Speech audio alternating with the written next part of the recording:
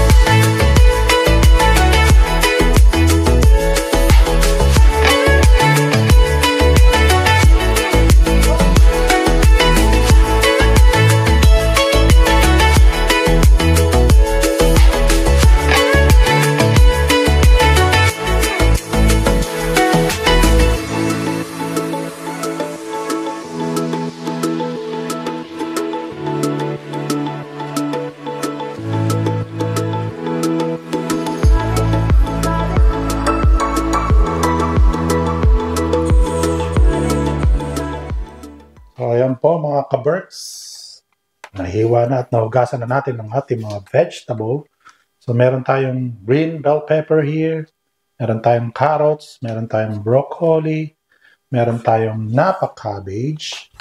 Meron tayong ayan, bichuelas or your green beans. Meron tayong pork cubes, salt and pepper. Meron tayong regular cabbage. Siyempre, gagawa tayo ng cornstarch, pampalapot, slurry, onion and garlic. Meron tayong Chinese leeks or onion leeks. Meron tayong chicharo or yung sinasabing Chinese no pigs. Meron tayong celery. Meron tayong patis o fish sauce. Meron tayong oyster sauce. Meron tayong pork na binabad with soy sauce and uh, ground black pepper. Meron tayong quail eggs. Ayan. Sasawag po natin yan para masarap ang ating chop suey kung tawagin. Ayan, nilaga ko po yan mga ka- ka-Berks. So tara na, umpisa na natin.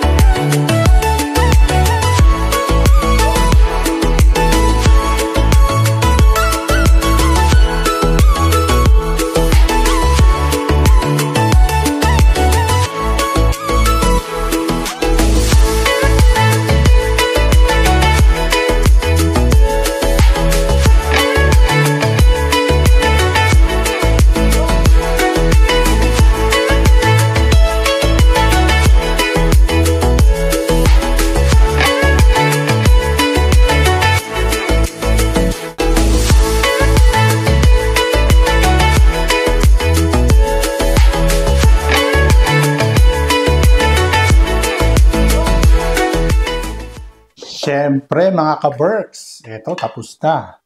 Tasting na tayo. So, siyempre, hindi matatapos ang ating vlog kung walang tasting.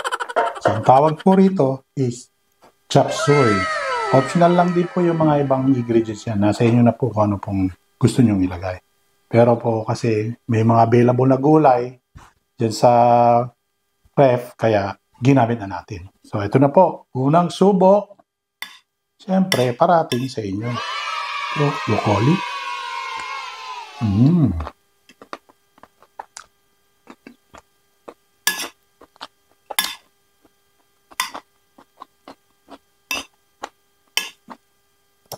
Gusto ko po sa gulay kasi half cook lang eh. Kaya, ang subo naman sa akin. Mmm. Gusto po kasi malutong malutong pa yung mga gulay. Mm-hmm. Mm. Ito po. Oh. Mm-hmm. Mm-hmm. Napakasarap po talaga nito. Kaya itong gawin nyo. Chop suey. Chapsoy ni Caridad FP. At siyempre, hindi mo mawawala ang ating coach for today. Ang coach for today is 80% of success is showing up. Para po sa aking opinion, showing up. Kung meron kayong ginagawa, lalo sa mga nag-uumpisa mag-business dyan, kailangan hindi kayo susuko. Parating ko sinasabi, go, go, go lang po tayo. Kumbaga, may mga inatin ng kayong training, ating kayong training, may mga in, entrepreneurship po dyan, mga, mga libre po dyan. Lalo-lalo na po dyan sa Pilipinas, marami pong entrepreneurship para kayo ay maging successful. Kaya, go, go, go lang po tayo. Kaya pag-upload dito, sabihin nyo na kung sino po ang may honor ng coach natin. Like, share, and subscribe. Caridad's FT po. Maraming pong salamat. Hanggang sa muli po.